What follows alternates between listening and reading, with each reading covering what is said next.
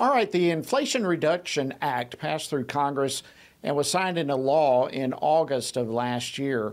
But when the bill was being considered in Congress, conservatives all over the place really understood that this bill was perhaps one of the worst misnamed bills in American history because it was not about reducing inflation.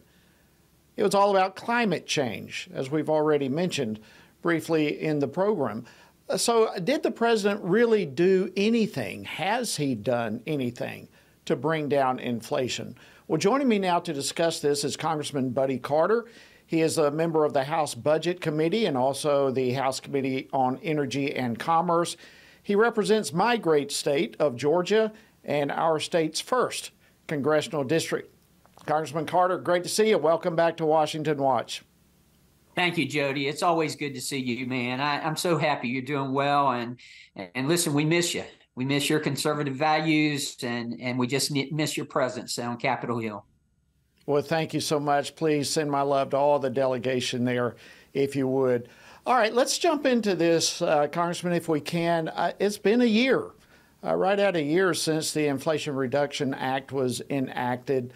Uh, tell us what you hear from your constituents. What what what are they saying as whether they know about this bill or not? The bill certainly is misnamed, but what is the condition? What are your constituents experiencing regarding inflation and the economy as a whole? Well, first of all, you're right, Jody. It is misnamed. It's called the Inflation Reduction Act. It, ought to be called the Inflation Expansion Act.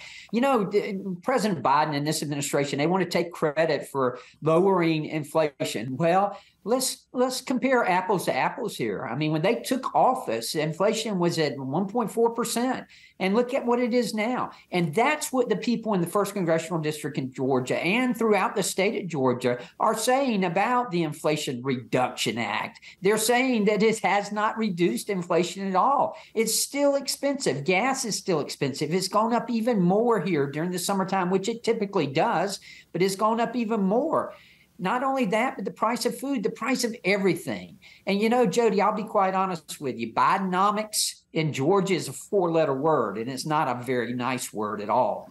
People are tired of this. They're tired of these policies, and that's what it's about. It's about policies, as you well know, Jody.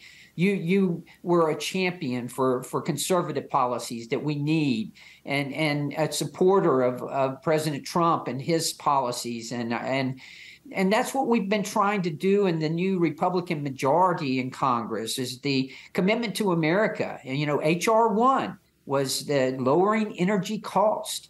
What we're trying to do is to make America energy independent again. We understand how important energy independence is to our national security. We understand how important pharmaceutical independence is to our national security how important food independence is to our national security. Yet this administration has done nothing but throw all of those out the door. Day one, this administration declared war on fossil fuels, causing an increase in prices of gas, causing an increase in inflation, causing an increase in interest rate, and now we have the mess we have in the economy.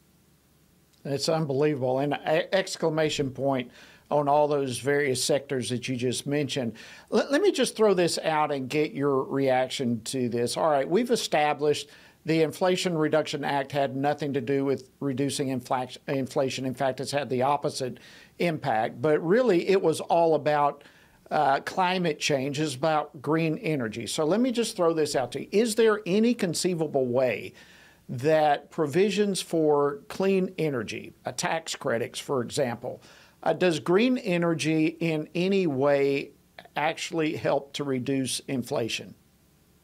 No, no. In fact, it increases inflation. Look, Jody, I, I, believe in climate change. I do. I believe it's cyclical. I can remember, I'm old enough to remember, Jody. I'm old enough to remember the early 70s when we thought we were back in an ice age. I, I can that. actually remember that.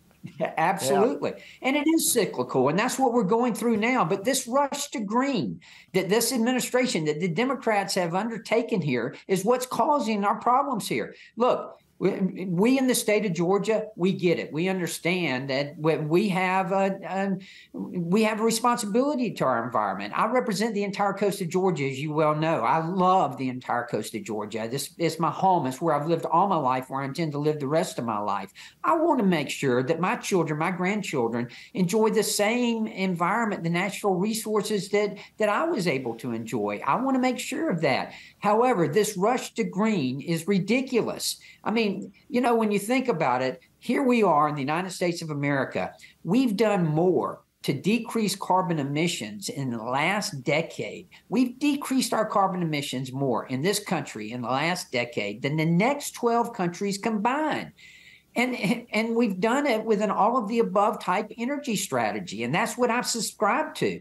Just this past week, we had the first nuclear reactor in over 30 years to go operational reactor three, unit three at Plant Vogtle. I'm a big advocate for nuclear power, and I think it's uh, it's base load, it's clean, it's it's reliable. We need that. That's one of the reasons why here in the state of Georgia we've been so successful economically because and, and attracting businesses because we have reliable energy we have clean energy here and that's very important but I am concerned. I'm concerned about this rush to green, particularly as it relates to the to to all of the rules and regulations that we're having to follow. That's what's killing our economy. Is crushing our economy. You know, President Trump did such a good job of of streamlining the, the permitting process. We had this economy clicking when he was in office. That's what Republican policies do for America, and that goes me- to show you that elections have consequences because policies have consequences. Absolutely. We've got about just less than 45 seconds left. If if you and the Republicans had your way, what needs to really happen to help the wallets of the American people? 30 seconds. What needs to happen is that we need to unleash our energy potential here in America, and we need to do that immediately. You know, we we all agree we need to decrease carbon emissions, but that doesn't mean you decrease choices.